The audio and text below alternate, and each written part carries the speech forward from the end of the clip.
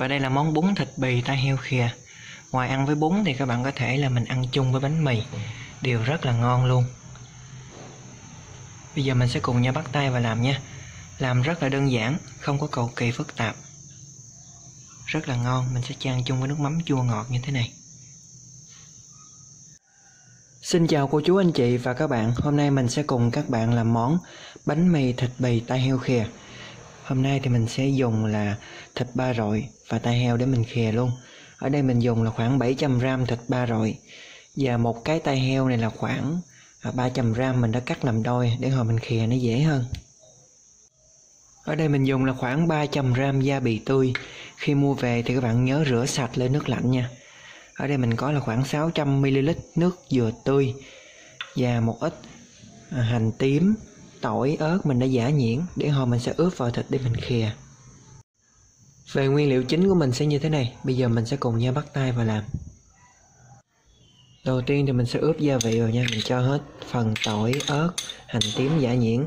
Các bạn nhớ giả nhuyễn thì nó sẽ thơm hơn là các bạn băm nha. Nửa muỗng cà phê bột ngọt.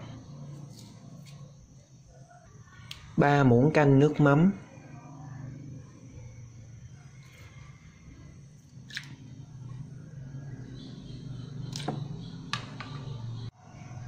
Hai muỗng canh đường.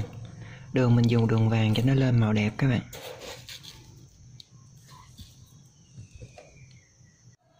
Mình sẽ cho vào đây thêm ít nước màu nha. À, nước màu thì có rất là nhiều hãng. Các bạn thích hãng nào các bạn dùng hãng đó nha. Cái này mình dùng của biên hòa. Cái này là từ mật mía. Mình sẽ cho vào đây khoảng 1 phần tư muỗng cà phê thôi. Nhiều quá nó đậm màu lắm nha. Ta hồi mình còn dùng cái à, nước dừa tươi á nó sẽ còn lên màu đẹp nữa. Mình sẽ cho vào đây một ít tiêu. Bây giờ mình sẽ trộn đều thịt lên. À, nếu có thời gian thì các bạn ướp à, 15 phút hoặc là nửa tiếng cũng được. Còn nếu như không có thời gian thì làm luôn không sao nha.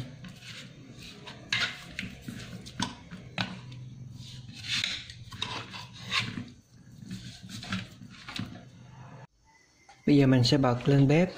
Bắt đầu mình sẽ khè nha. Mình sẽ để lửa lớn luôn. Cho thịt nó săn lại rồi mình sẽ cho nước dừa tươi vào. Thịt đã bắt đầu săn lại rồi nè. Bây giờ mình sẽ cho nước dừa tươi vào. Mình cho hết nước dừa tươi vào luôn nha. 600ml mình sẽ để lửa lớn cho nó sôi trở lại khi nó sôi trở lại, mình hạ xuống lửa vừa, rồi mình khìa từ từ. Lâu lâu thì các bạn cũng phải nhớ trở mặt thịt lại cho nó đều hai mặt nha. Nước sôi rồi các bạn hạ xuống lửa vừa nha, hoặc lớn hơn lửa vừa một chút thôi. Cái phần tai heo thì mình à, cắt nhỏ ra các bạn để cho nó nhanh chín. Để à, nguyên cái miếng to như vậy nó không có đều. Cắt nhỏ nhỏ vậy nó ngâm ở trong à, nước như vậy nè, nó nhanh chín hơn.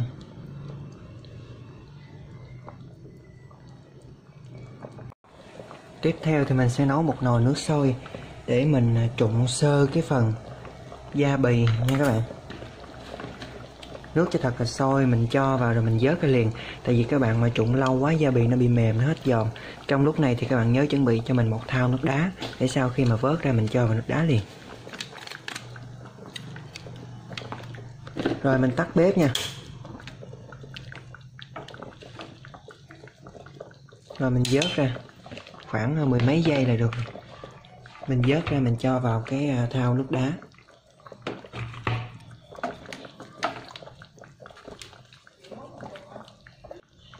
Các bạn ngâm trong thau nước khoảng ờ, 10 phút nha 10 15 phút, sau đó các bạn vớt ra rửa sạch lại. Rửa từ 2 đến 3 lần nước, xả sạch. Tiếp theo thì mình sẽ đi nấu phần nước mắm nha. Ở đây mình dùng là 150g nước mắm 150g đường. 200g nước lọc. Để tạo độ chua thì mình sẽ dùng là tắc hoặc là các bạn dùng là chanh hoặc là giấm đều được. Một ít tỏi ớt băm như thế này. À, tùy theo độ mặn của nước mắm mà các bạn điều chỉnh lại cái công thức này của mình nha. Bây giờ mình sẽ cho cái à, nước lọc vào này đường vào. Còn à, tỏi ớt băm với tắc đó thì mình chưa có cho vào nha bây giờ mình sẽ nấu cho nó sôi lên nha. Cho nó tan đường, nó sôi lên là mình để nguội.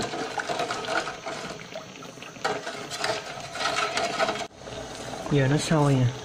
Mình sẽ tắt bếp để nguội nha. Mình đã khè được khoảng 35 phút rồi nè các bạn. Bây giờ mình sẽ tăng lửa lớn lên nha, để cho nó nhanh cạn hơn.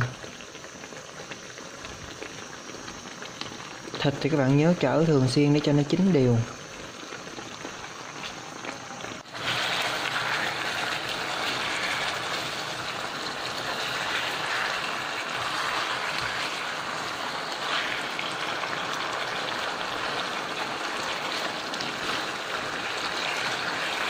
Khi mà nó gần cạn rồi các bạn nhớ chở thường xuyên nha.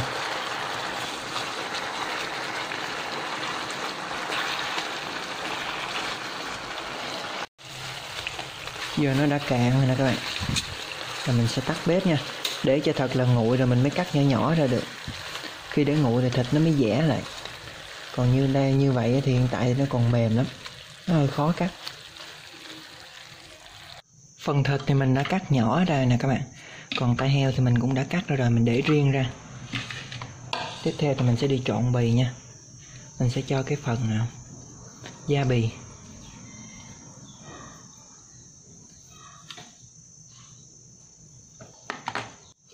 Để giúp cho cái món bì của mình ngon hơn, mình sẽ cho một ít tỏi phi. Tỏi phi vàng. Và nguyên liệu không thể thiếu trong món bì là thính. Thính là làm từ à, gạo rang ngoài ra người ta sẽ có đậu nành và đôi khi có bắp vào trong đây nữa. Cái này mình mua sẵn. Giờ mình sẽ trộn cho cái này đều trước nha, rồi mình mới cho thính vào. Món này các bạn ăn với bún hoặc các bạn cuốn bì. Hoặc bánh mì đều được, rất ngon.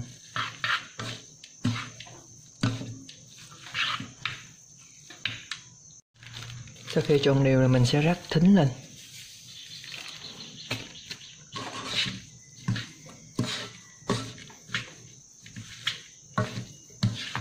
Mình cho lượng thính vừa phải nha. Đôi khi cho nhiều quá nó sẽ bị đắng nhầm thính người ta rang vàng quá, các bạn cho nhiều nó ăn đắng lắm.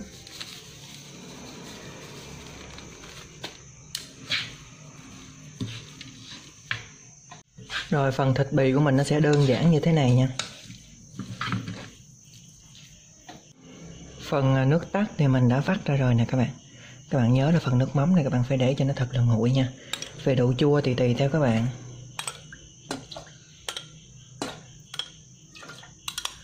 Khoảng 6 muỗng canh nước tắt, hoặc là thích ăn chua thì dùng nhiều hơn. Rồi mình cho cà ớt vào.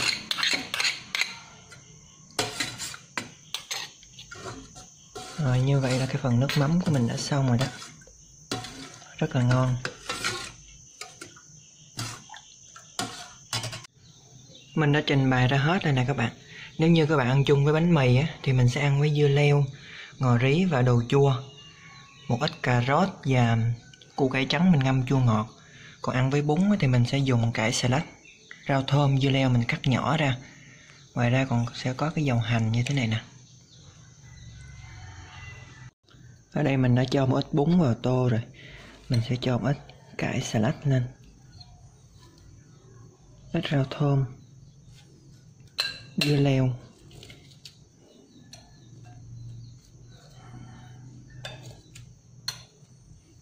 Mứt đồ chua.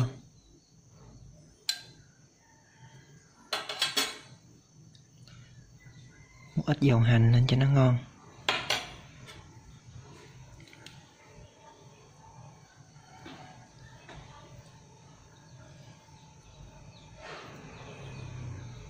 Thịt bì.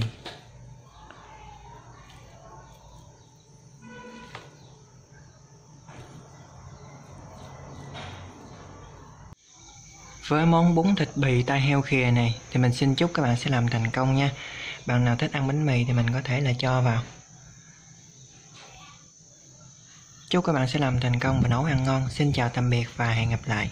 Nếu thích video các bạn nhớ like, chia sẻ, nhấn nút đăng ký để ủng hộ kênh.